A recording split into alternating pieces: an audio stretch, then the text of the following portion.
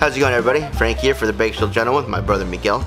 We're here at Cigars and More in Bakersfield, California. Today we'll be taking a look at a new cigar that just came into the shop not too long ago. Um, I don't know if anybody's ever heard of this brand before. Uh, it's called Alec Bradley. Bradley? Bradley? Is that it? That's I so. Alright, it's uh, The Lost Art by Alec Bradley. It's been a really highly anticipated cigar to come out of the Alec Bradley camp. Uh, I know quite a few people here at the shop were looking forward to it. One might be sitting off to my left here, right off camera, the Mitch. And um, yeah, I'm gonna take a look at this cigar today, and my notes just disappeared because I was talking too long. It comes in at, uh, this is the Grand Toro size. It comes in five sizes: Churchill, Torpedo, Robusto, the Grand Toro, the Double T, and I think I said them all. Yes. Uh, this is at six and a quarter by 52 ring gauge, and it has a Honduran Corojo wrapper with Honduran and Nicaraguan filler and binder. It's a box pressed, uh, super dark brown on this one, but it's nice and oily. I mean, this thing is just awesome filling. Looks pretty good too. The band is that uh, really nice detailed band on it right there, guys. You can see it has the uh, Alec Bradley logo with the crown red in the middle, the gold, and uh, what is that, teal?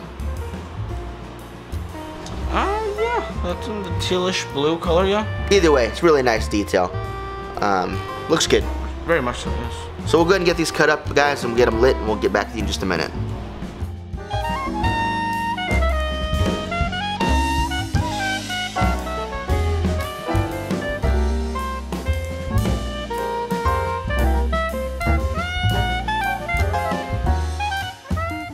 Alright guys, we're a little over half an hour in, uh, getting down to the second third. And I gotta say for flavors, I got a really nice spice at the beginning of this um, with a little bit of wood, but that all died away very quickly. Um, it turned into a little bit of a, a coffee note that I was getting. Uh, we were read the description and it said espresso. I don't know if it was that bitter and intense of a coffee flavor for me personally, uh, but it's definitely a coffee flavor. I'm still getting that lingering uh, spice, that black pepper, maybe almost like a cayenne pepper um, heat on the finish. Stays on the back of the throat for a while. And yeah, other than that, guys, not much as far as flavors going on right here, right now. Maybe it will transition to the second, third. We'll see. Uh, Mike, how's your construction going? Construction's fine. I had a little retouch earlier, only because I was smoking pretty slowly.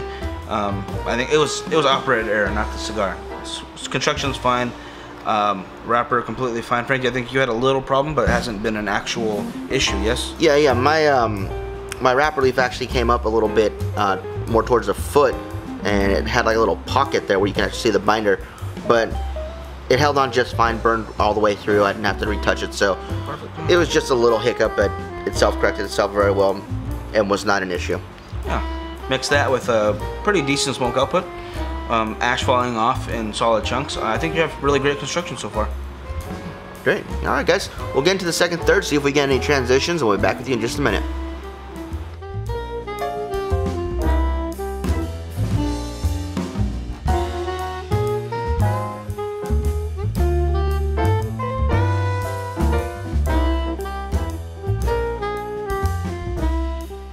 Alright guys, so we're coming up to about an hour and seven minutes now, and I, there was a bit of a flavor transition from first to second, third. That espresso and cayenne pepper tastes have all but gone away, and it's moved over to a nice aged tobacco and cedar wood flavor. Uh, not as big of a transition as I was thinking, you know, it didn't become as more complex. It just kind of, this was the flavor you're getting, now these are the flavors you're getting.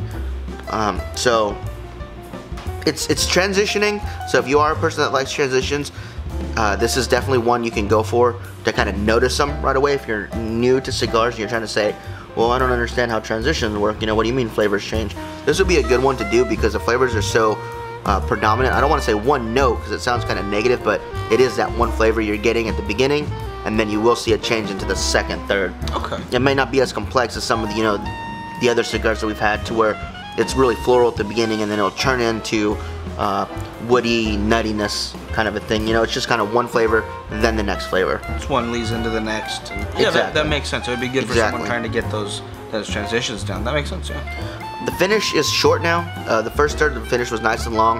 That cayenne stuck around in the back of your throat. But for the second third, the finish is short. Um, it, it, it pretty much is gone after a few seconds. So not as long as a finish anymore. but the strength is building. It went from a mild at the beginning for me to definitely a medium now, and I think it will build up more towards the end to a full.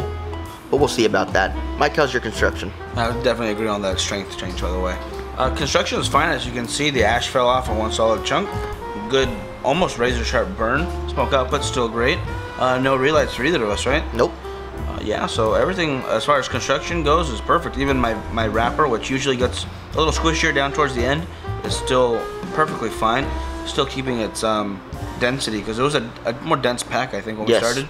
And it's still not too squishy to that point where if you start pinching on it a little bit and rolling it, it's not going to break. So, yeah, I think, uh, I think construction on this one, um, throughout the entire thing, I'm going to go ahead and say right now, I think it's pretty great. Yeah, definitely would agree with that. Do have a little bit of crack uh, over here by the shoulder of mine, but it hasn't made any kind of irregularities in the burn or anything like that. So we're still good, guys. We'll go ahead and finish this out and get you a conclusion in just a minute.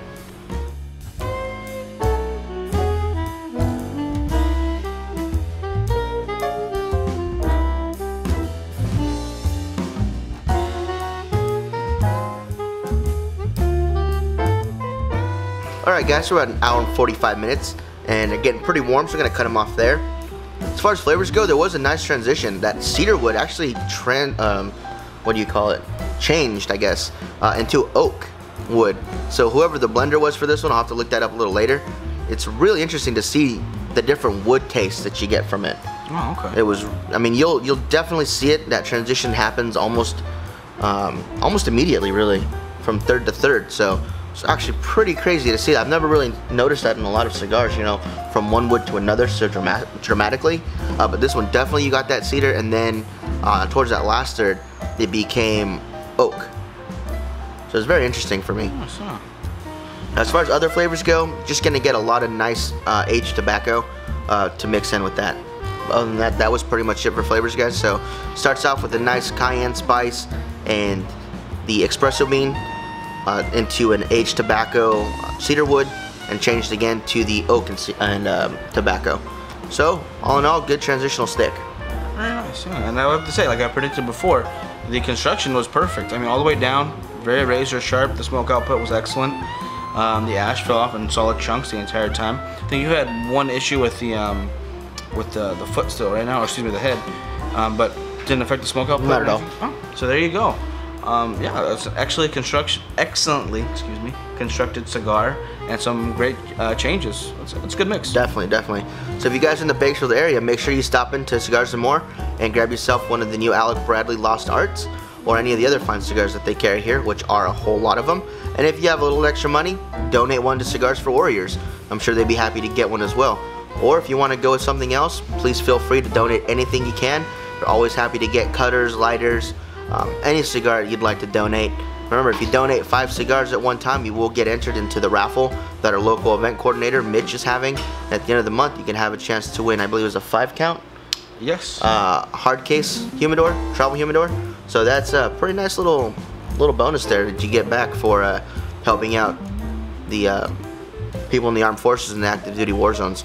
So you guys, it's a great cause. Um, if you can do anything to help out, please do. And uh, yeah. So for myself, my brother Miguel here at Cigars More in Bakersfield, California. Please make sure you guys join us on the Bakersfield Gentleman. We'll see you guys next time. Have a good one, guys.